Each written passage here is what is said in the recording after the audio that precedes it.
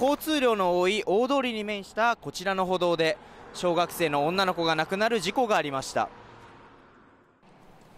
昨日午後9時過ぎ飛島村大宝6丁目の歩道でコンビニの駐車場に入ろうとした大型トラックに弥富市の小学3年竹内春日さんがはねられ